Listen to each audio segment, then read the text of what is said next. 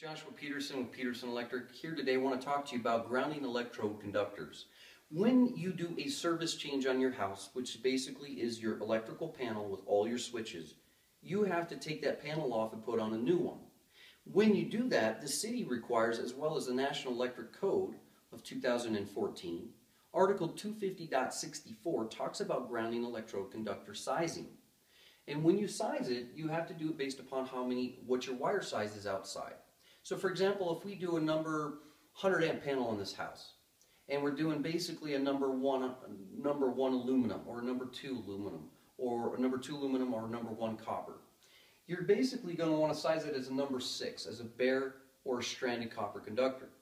The code states that when you bring it into the home, where the, the water comes into the home through the cement from the city or your well, you're going to be trying to bond that within five foot to the entrance. This is a nice example because most of the time this water valve is at another side of where the hot water heater is or the hot water heater is upstairs. A lot of older homes have hot, the, the bonding right here in the cold or the hot of hot water heater. They'll have it by the washer machine or even underneath the kitchen sink when they did that back in the 70s and 80s. No longer are we allowed to do that. So when we change out a panel, they want to make sure that that panel is bonded to the earth. That's why we do that. And when you bond it, you're going to bond it to this cold water shutoff valve. If there's a meter, you'll have to jumper it and bond it as well. The code states that that wire has to be continuous and is treated as a, a, uh, a conductor that is actually part of the grounding system now for the service.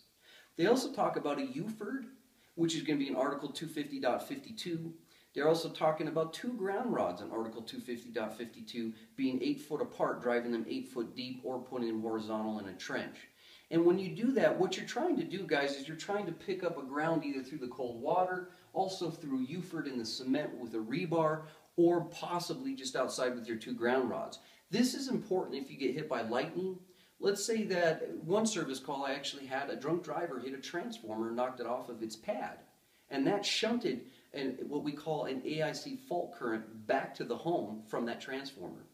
And when that shunted backwards, Thank God that that home was 300 foot away, otherwise it would have blown up that meter on the side of the home.